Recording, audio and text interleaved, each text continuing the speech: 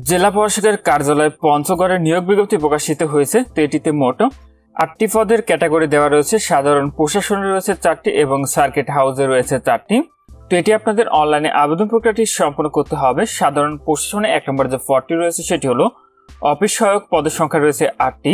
এটিতে আপনাদের শিক্ষাগত যোগ্যতা লাগবে। কোনো শিক্ষিত শিক্ষা বোর্ড হতে এসএসসি বা সমান পরীক্ষায় পাস দুই নম্বর পদ হলো নিরাপত্তা প্রহরী। পদের সংখ্যা রয়েছে দুইটি।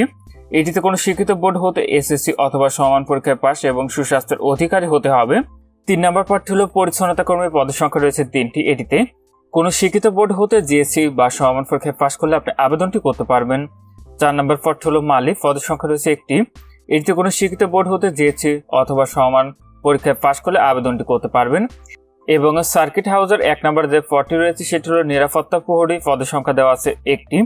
এটিতে আপনাদের শিক্ষাগত যোগ্যতা লাগবে কোনো শিক্ষিত শিক্ষা বোর্ড হতে এসএসসি অথবা সমান পরীক্ষায় পাস এবং সুস্বাস্থ্যের অধিকারী হতে হবে। দুই নম্বর পদটি হলো বেয়ারার। পদের সংখ্যা রয়েছে দুইটি। এটিতে কোনো শিক্ষিত শিক্ষা বোর্ড হতে এসএসসি অথবা সমান পরীক্ষায় পাশ করলে আবেদনটি করতে পারবেন। তিন নম্বর পদটি হলো মালি। পদের সংখ্যা রয়েছে একটি। এটিতে কোনো শিক্ষিত শিক্ষা বোর্ড হতে জিএসসি অথবা সমান পরীক্ষায় পাশ করলে আপনি আবেদনটি করতে পারবেন। চার নম্বর পদটি হলো পরিচ্ছন্নতা কর্মী। পদের সংখ্যা রয়েছে একটি। এটিতে কোনো শিক্ষিত বোর্ড হতে জিএসসি অথবা পরীক্ষায় পাশ করলে আবেদনটি করতে পারবেন তো এটিতে আবেদনের ক্ষেত্রে নিচের অংশে শর্তাবলী দেওয়া রয়েছে।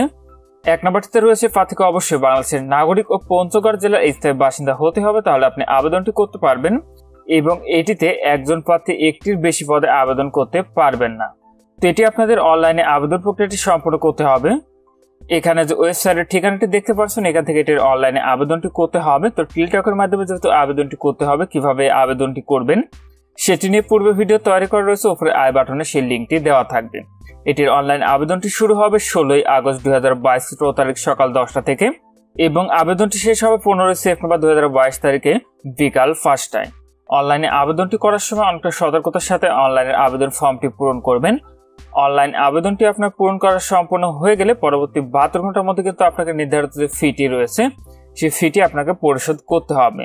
তো অনলাইনে আবেদন করার সময় আপনাদের ছবি এবং স্বাক্ষরের প্রয়োজন হবে, দেখতে পাচ্ছেন ছবি এবং স্বাক্ষরে কি মাপটি লাগবে, এখানে লেখা রয়েছে। তো সেটি আপনি পূর্বে থেকে সাইজ করে রেখে দিবেন। তো এটিতে আবেদনের জন্য আপনাদের ফি নির্ধারণ করা হয়েছে, সেটি হলো, ওপরে যে কয়টি পদ ছিল, সে কয়টি পদের ক্ষেত্রে আপনার ফি দিতে হবে ছাপ্পান্ন টাকা। সেটি আপনাদের ট্রেড অফ মোবাইল নাম্বার থেকে এস এর মাধ্যমে ফিটি পরিশোধ করতে হবে। এস এর ফর্মেটটি আপনারা এখানে দেখতে পাচ্ছেন।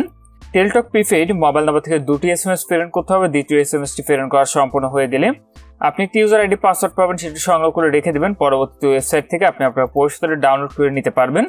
সেক্ষেত্রে আপনার মোবাইলে এস এম এস এর মাধ্যমে আপনাদেরকে জানিয়ে দেবে। আর আপনি যখন এটি অনলাইনে আবেদনটি করেন না কেন, আবেদন করার পূর্বে নিয়োগ বিজ্ঞপ্তিটি আপনার নিজ দায়িত্বের সম্পূর্ণটি ভালো করে আগে আপনি পড়ে নেবেন। নিয়োগ বিজ্ঞপ্তির লিঙ্কটি এবং আবেদনের লিঙ্কটি ভিডিও ডিসক্রিপশনে দেওয়া থাকবে। তো আজকের ভিডিওটি এই পর্যন্তই। সবাই ভালো থাকুন। সুস্থ থাকুন নিরাপদ থাকুন আল্লাহ হাফেজ।